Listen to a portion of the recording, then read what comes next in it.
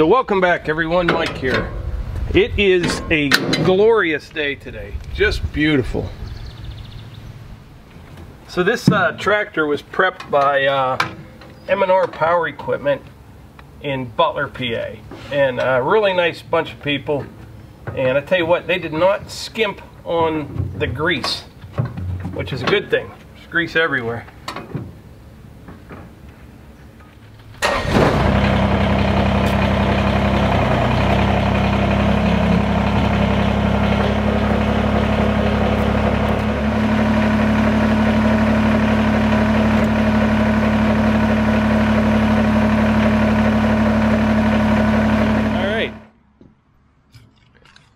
we are ready. This is the uh, Land Pride RCR 1248. It's a uh, 48 inch wide brush hog, perfect match for the uh, Kubota BX23S. As you can see, just a little bit wider than the tractor, which is good. I think this is going to be a really nice setup for uh, keeping the trails maintained. Now, we don't have a lot of vegetation on some of the trails. Some of them get really thick. And what I found, the more you can cut them, the thicker that it gets, and then the less erosion you have. Plus, it helps like with the ticks, you know, all that stuff. So we like to keep trails mowed uh, for Melissa and the dogs when they're out hiking, and for really anybody. It's uh, I just like keep them keeping them tame. But anyway, before Melissa takes us out on the trails, I'm going to take it down there by the sawmill. I have a little area down there to brush hog just to kind of make sure everything's all set up right. It's good to go. Archie's growing like a weed. Huh. Yeah. You look a little sleepy. Hey, Rue.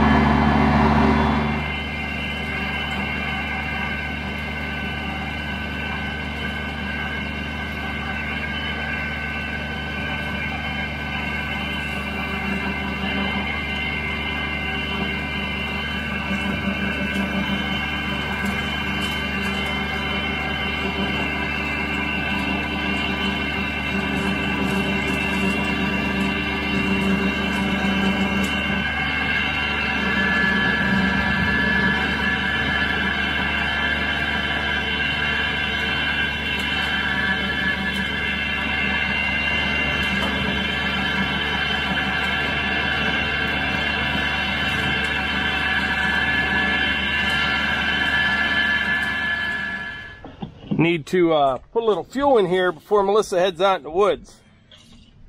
She's been known to uh, run things kind of low. I'll leave it at that.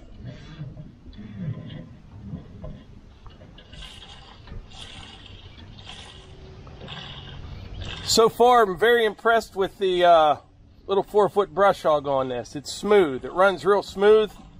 Nice cut. This thing's going to do great on the trails.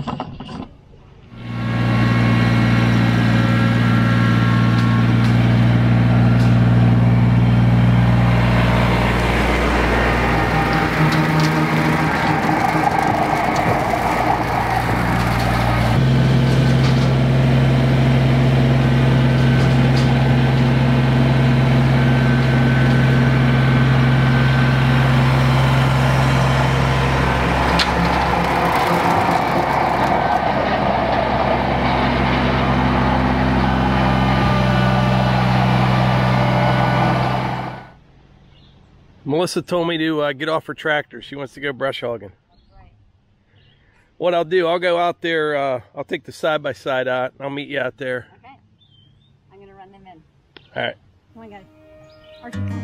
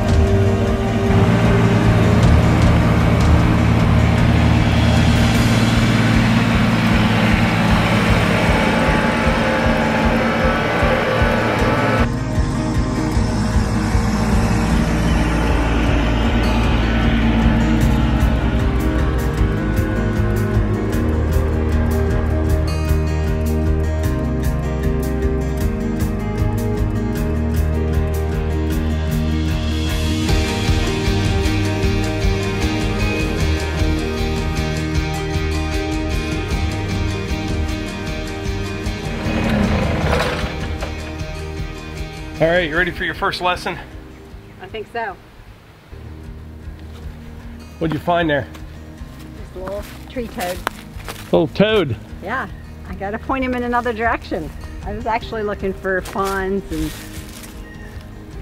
I guess Yeah. that's about it. Maybe another little puppy or something, you know.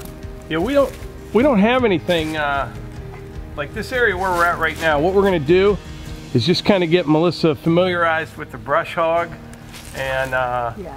kind of do a little bit of mowing out here before she takes off out the other trails. So what she's doing now is just, you know, picking up any sticks and stuff.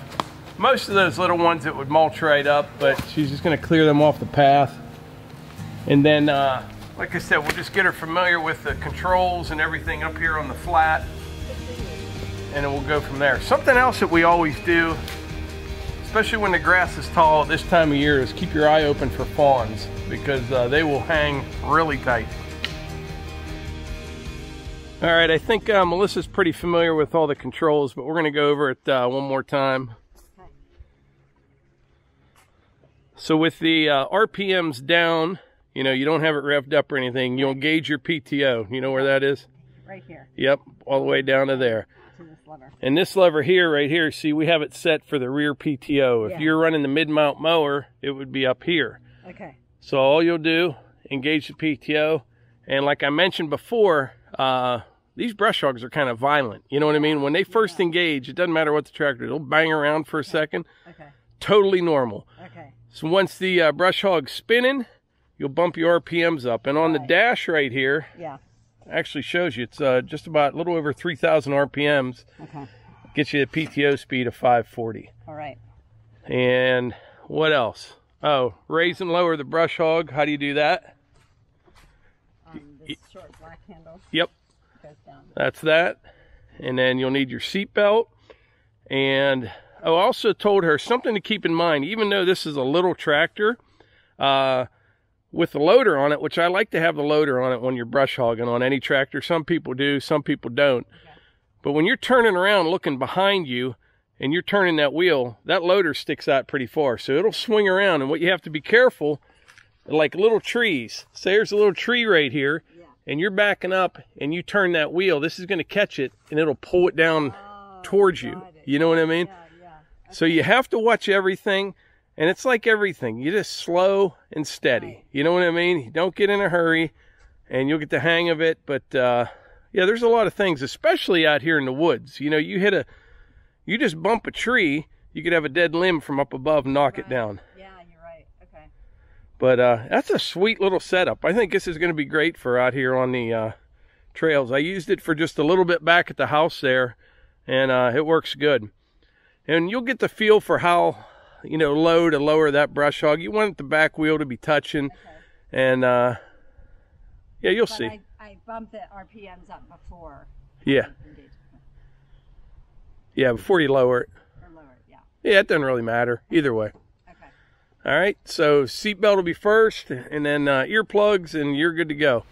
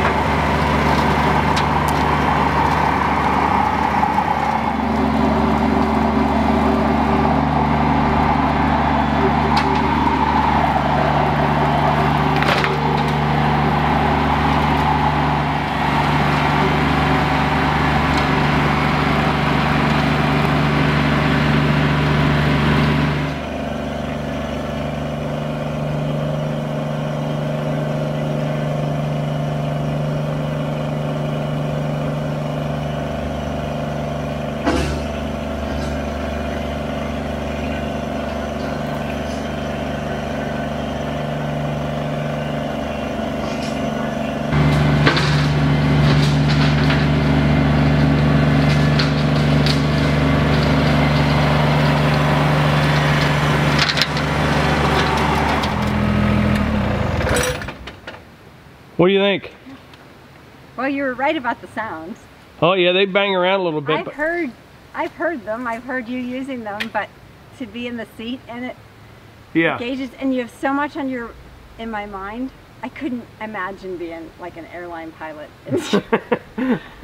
Yeah, these are You have dangerous, Everybody's but lives in your hand. I have my own, and I'm like, ah. yeah. Well, you think you're ready to go mow some trails? Yep. All right. Okay.